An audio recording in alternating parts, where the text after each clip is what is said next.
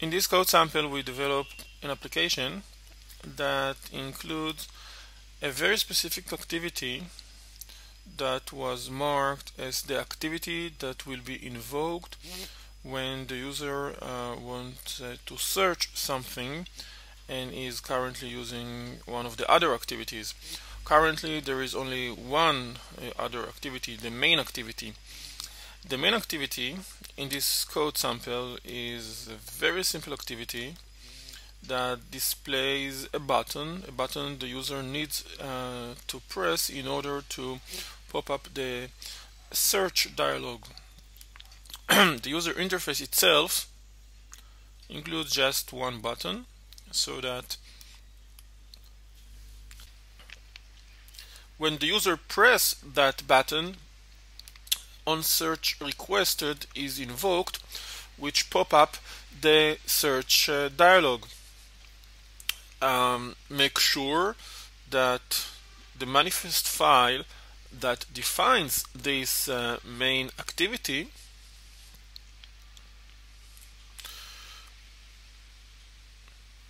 includes a metadata element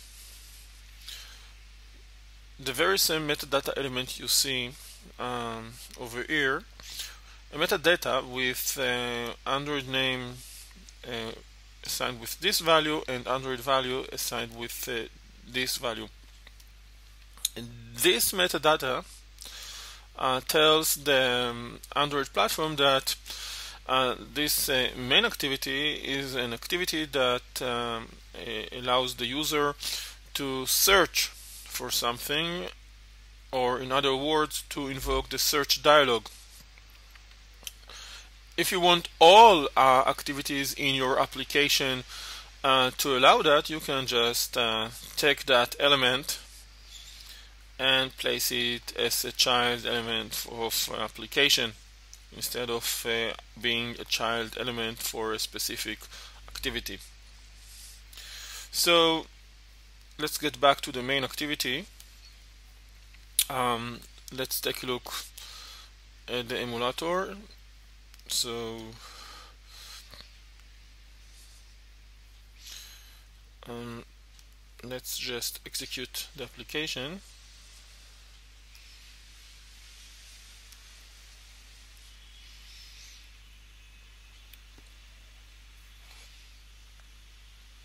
So here is the main activity, the main activity with uh, the one and only button, click to search. This is the button here I, I uh, handled uh, its um, event.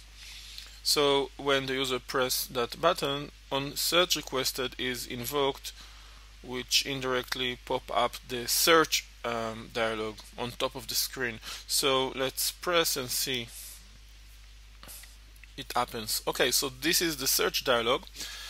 And now, as you can see, there is already a, a gray text saying um, to the user here you can search for hello greetings um, this gray uh, text is configured in a separated XML file we should save within the XML folder within uh, res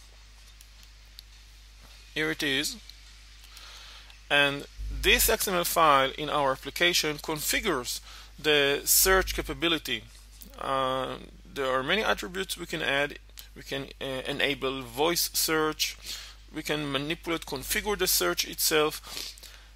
For now, if you take a look, the value of Android hint is this uh, string resource.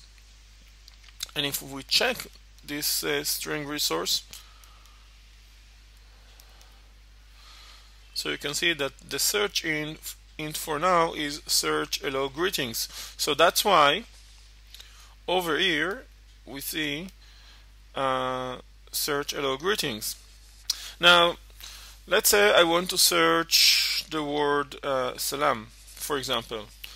Now when I press enter uh, this uh, word the, the text the user entered for now uh, in this code sample I entered the text salam is uh, placed within an intent an intent that is um, is created indirectly and invoke a very specific activity that I specified as the uh, searchable activity, as the activity that each uh, other activity that um, uh, performs a search will invoke it. And the query string will be passed over together with the intent to that very specific uh, uh, activity we chose to make as the uh, searching activity, the activity that should um, get the query string, perform the search, and uh, present uh, the, the, the, the, result in a list view or something like that. So here in this code sample, let's get back to reality. We have another activity, search activity, and search activity is a very simple one. It includes a map with key value pairs, but instead of doing something stupid like that, you might want to work with a database or uh, RESTful web services or whatever. And when this activity is invoked, it happens because user, the user entered uh, some text in a, in, in a search dialog and pressed enter. And that text is passed over to this activity. Uh, so we can fetch it out and this is exactly what we do here. First, I get uh, from uh, get the intent object that invoked this uh, search activity, and then um, I verify that uh, this is an intent with uh, action that equals the intent dot action search uh, string. And if this is the case, then I know, okay, this activity was invoked for searching purpose and here I just call the get string extra on the intent object looking for um, the value that its key is search manager.query so this is how I fetch the, the query string the user entered in the other activity, the main activity. And then I perform some search, uh, query the database or whatever. In this code sample, it is a simple uh, search with, with um, using a map, and then uh, present some sort of uh, result or result to the user. Uh, so this activity that we chose to make to become the search uh, searchable activity is the one that's responsible to perform the search once it receives the, the, the query and present the, the result on the screen. Now, in order to take an activity and make it the search activity, the searchable activity, let's take a look at the manifest file.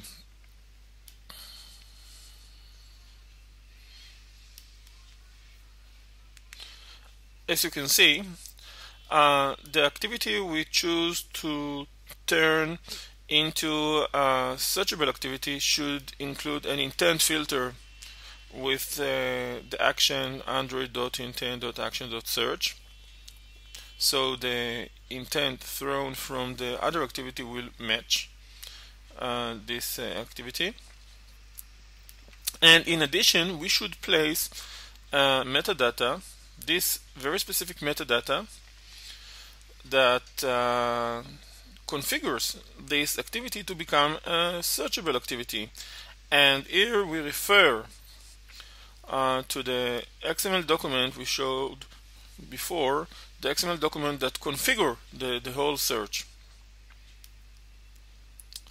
so let's summarize the manifest file um, should include the application element of course and then within the application element there are um, activity elements for each one of the activities. So each activity has the activity element with its uh, very specific configuration. Uh, an activity that allows the user to pop up the search dialog uh, should include uh, this very specific metadata We can alternatively uh, place this metadata um, uh, as a child element of the application, not the activity, and then um, the effect will be for all the activities, not just the very specific activity. The activity we want to be a searchable activity, meaning that um, it will be an activity that when someone enters something into a into a search uh, dialog and press enter, this is the one that will get the query string and um, perform the search and present the result. So this one uh, should include this metadata. Otherwise, it, it, won't be clear that this is an activity that um, uh, should receive the, the, the, query string perf and performs uh, the search itself and present the result. So let's get back to the example itself. So as we showed before, uh, this is the main activity. The other activity, uh, I press click to search, I enter some text, and then when I press enter, uh, take a look, I'm moved to the search activity, the one that receives the query string, performs the search, and present the result on the screen.